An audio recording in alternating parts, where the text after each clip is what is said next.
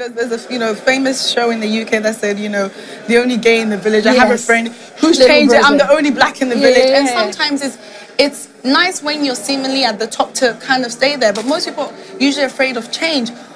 When you did decide to leave, was it was it daunting, or you were like, nope, I have to No, move on.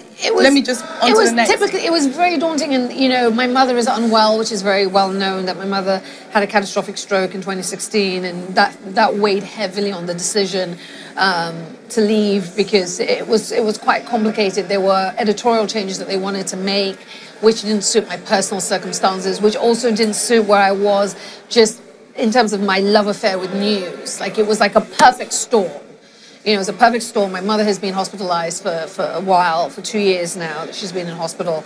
And, um, you know, there just comes a moment where you just have to, you, you hit a crossroads and you just have to figure it out. Does this work for me professionally, intellectually, social, like all of it?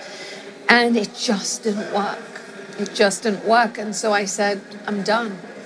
And, you know, the, when you say it, you know, you say, you, know, my agent called and I said, I'm done. I'm out. I said, I'm done. Just fold the deal. And uh, he said, okay. And my agent didn't even fight me on it. My agent didn't say, like, you want to think about it? I, I just said, I'm out. Yeah. And um, it, so it was so quick. I'm saying the moment, the break was so quick that he put the phone down and I was like, I've done it. wow, I guess it's over. It really is. And and then it was done. And I will honestly say this without any with any without any um, artifice. I haven't missed it. You haven't missed it. But that's because you're doing some amazing stuff, which I'm gonna Well- get into very soon. But we're about to go to a break. Um, I know that 2014, the um, Nigerian uh, Chibok girls was kidnapped, and you did um, reporting there, which really very powerful. How did reporting on that case? How did that? I guess did it affect you in any way? Completely. It completely reshaped me. In what way? Telling that story because I always say, but for the grace of God, I would have been born in a place like Chibok. My mother is educated to an extremely high level, but she comes from a place not much different from Chibok. She comes from a place where they had no running water and they had no electricity. If my mother had been educated, I would have been born in a village, mm. right? So, but for education, but for the transformative power of education and how it can change lives in a generation, my life would have been very different. So for me, those girls could have been my sisters. Those girls are like cousins that I have.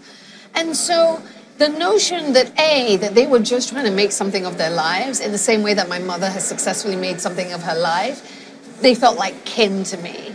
And the notion that because they come from poor families that, and they're girls, they don't matter, which is how the story read Yeah. initially, just enraged me. And so, you know, there was this whole thing about, you know, moral equivalency or journalism, journalistic equivalency, like, but what's the other side? There is no other side to children being abducted. and kidnapped. Yeah. There's no other side to a government not doing everything it can to find them.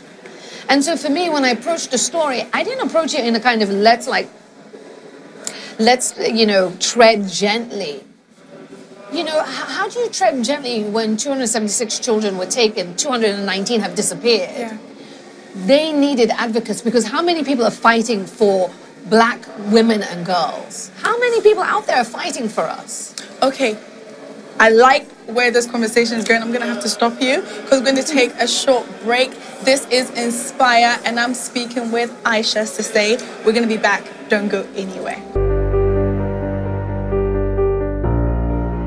Welcome back to Inspire. I'm speaking with Isha Sesay, international world acclaimed journalist, and she is just. I love your passion. That's all I'm gonna say. Is I love your passion, and just listening to you, it's obvious that you're not just talking the talk, but you're walking the walk.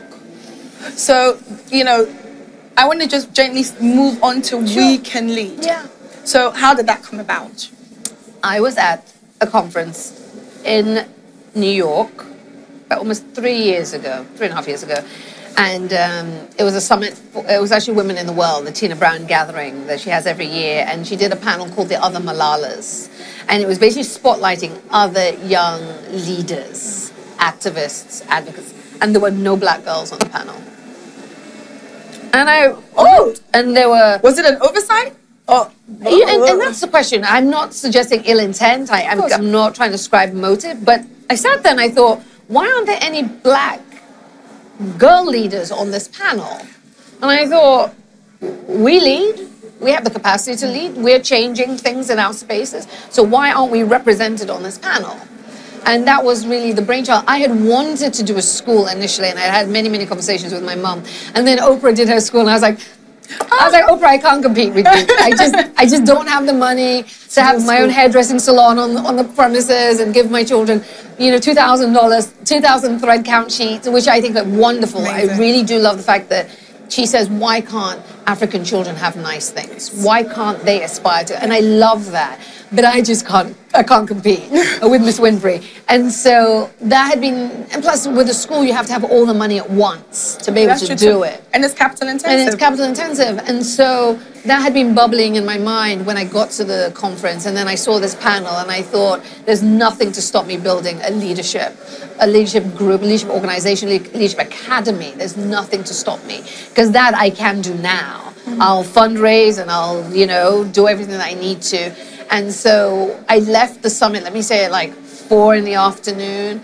I got back to my hotel room. I called my mom. I said, I'm building an organization. My mother's used to getting calls from me saying, I'm about to do X. Wow. Her question tends to be, How are you going to do it? I gave her the plan. I jumped in the shower, came up with the name in the shower, Wow. and that was it. the rest is Well, the rest well, is. it- it's ongoing. The rest is ongoing. We're, we shortly have about 1,200 children um, in, in our program, which targets adolescent girls in Sierra Leone as the first country, and the view is to get right across Africa.